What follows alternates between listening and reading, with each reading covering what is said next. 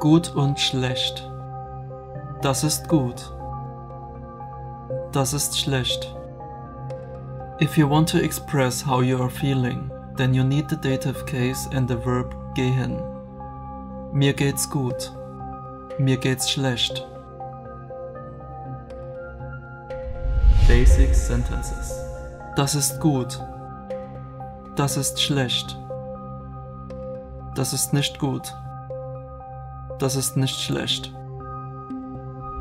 Basic question. Ist das gut? Ist das schlecht? Kontext. Mein Deutsch ist gut. Sie ist wirklich eine gute Freundin. Deine Ausrede war wirklich schlecht. Das war ein schlechter Film. Comparative. Besser. Schlechter. Dein Deutsch ist besser als meins. Dein Deutsch ist schlechter als meins. Superlative. Am besten. Am schlechtesten. Dieser Student hat den besten Bericht geschrieben. Dieser Student hat den schlechtesten Bericht geschrieben.